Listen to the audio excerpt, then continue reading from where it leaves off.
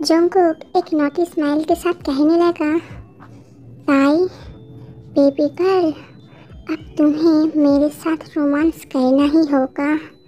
I want you badly Tae baby, मैं तुम्हें किसी भी हालत में अपना बना कर ही रहूँगा। मैं तुम्हें इतना ज़्यादा जेलस फील कराऊँगा कि तुम्हें मेरे करीब आना होगा। और मेरे साथ रोमांस करने में तुम मजबूर होगी। मुझे किसी भी कीमत में तुम्हारे करीब जाना है, तुम्हें अपना बनाना है, तुम्हारे साथ रोमांस करना है।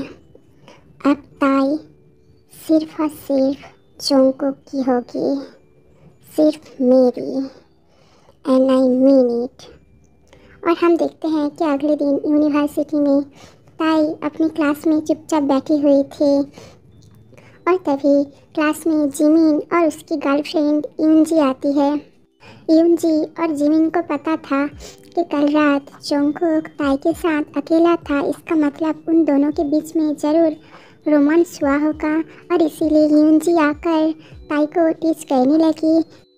ताई, कल रात तेरे और चौंकू के बीच में क्या हुआ है हाँ? मैं बहुत ज़्यादा एक्साइटेड हूँ। प्लीज़ मुझे बताना जल्दी से।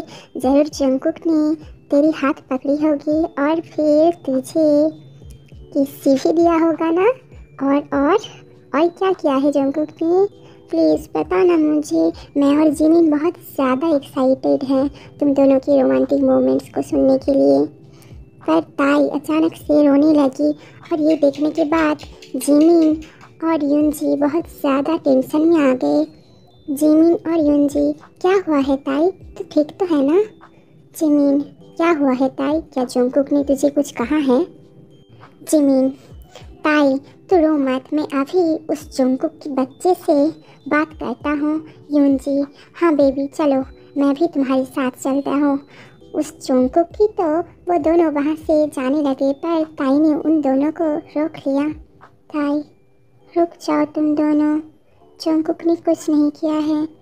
मैंने चौंकुक को थप्पड़ मारी है।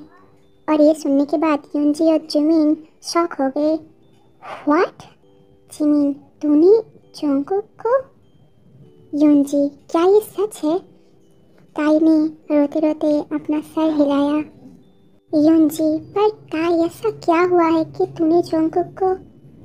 ताई कल रात जोंकुक ने मेरे हाथ पकड़े और मुझे हक भी किया। युनजी और ताई और उसने मुझे पप्पी भी थी जिमिन, क्या? ताई ने अपना सर हिलाया।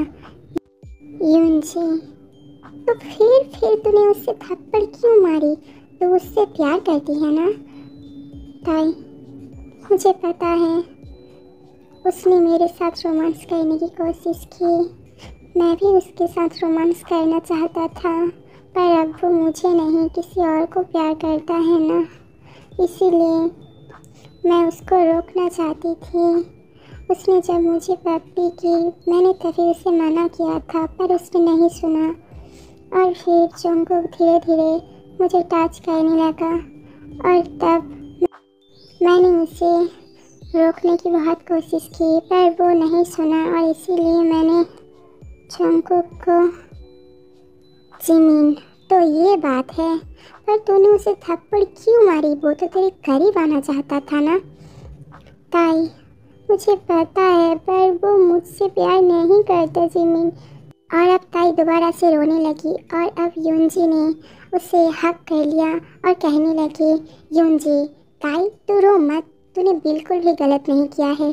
तूने जो किया है, बिल्कुल ठीक है। जिमिन पर बेबी जोंगुक ताई के करीब आना चाहता था।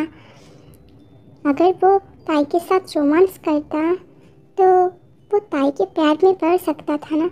यून जी, बेबी, ये बिल्कुल गलत है। ताई ने जो किया है, बिल्कुल ठीक किया है। वो ताई से प्यार नहीं करता तो फिर ताई उसे क्यों परमिशन देता हाँ? जिमिन पर बेबी यून जी जिमिना जिमिन ओके बेबी तुम जो बोलोगी वही ठीक है ओके यूनजी ताई जंकुक ने तुझसे कुछ कहा है क्या? ताई, उसने मुझे कुछ नहीं कहा। वो बहुत ज़्यादा गुस्सा हो गया था। मैं उससे बात करना चाहती थी, पर जंकुक जल्दी से वहाँ से चला गया। यून जी तू रो मत ताई। सब कुछ ठीक हो जाएगा। जिमिन, ओके, मैं जोंगकुक के साथ बात करूँगा, ठीक है? ताई ने मुस्कुराते हुए अपना सर हिलाया, पर तभी क्लासरूम में जोंगकुक की एंट्री होती है। वो देखता है कि ताई अकेली एक सीट पर बैठी हुई है और उसके बगल की जगह बिल्कुल खाली है और जोंगकुक ताई की तरफ़ देखकर मुस्कुराने लगा। और जंकुक को ऐसे देखकर ताई बहुत ज़्यादा कंफ्यूज हो गई। उसे लगा कि जंकुक उसके ऊपर गुस्सा नहीं है। उसने ताई को माफ़ कर दिया है। जंकुक धीरे धीरे ताई की तरफ़ देखकर एक नोटी स्माइल देने लगा और वो जल्दी से ताई के करीब आ गया और कहने लगा, Jungkook baby I am so sorry baby girl miss you too much. I'm so sorry, baby.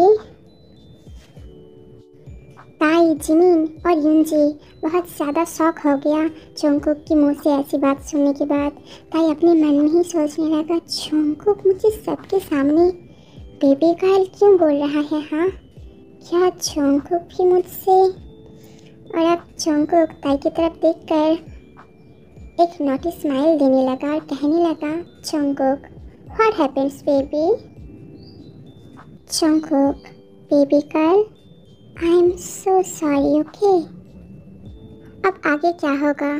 क्या चंगुक ने ताई को सच में माफ़ कर दिया है? क्या अब वो ताई के ऊपर रिवेंज नहीं लेगा? क्या अब वो आकर ताई की बगल में बैठेगा? और फिर चंगुक ताई के साथ एक डेस्क में बैठकर डेस्क के नीचे से ताई के साथ फ्लैटिंग करेगा। क्या अब वो ताई को बोल देगा कि वो भी ताई से प्यार करता है? या फिर ये सब कुछ करने के पीछे चोंकुक की कोई प्लान है? उसने क्यों ताई को सबके सामने बेबी गर्ल बोला है? आखिर चोंकुक की प्लान क्या है? वो क्या कहना चाहती है? वो कैसे ताई को अपने करीब आने के लिए मजबूर करेगा? वो कैसे ताई को अपना बनाएगा? चोंको कैसे ताई को अपने साथ रोमांस करने के लिए मजबूर करेगा? और ये हम देखेंगे अगले पार्ट में, जो बहुत ही ज़्यादा रोमांटिक और एक्साइटिंग होने वाला है।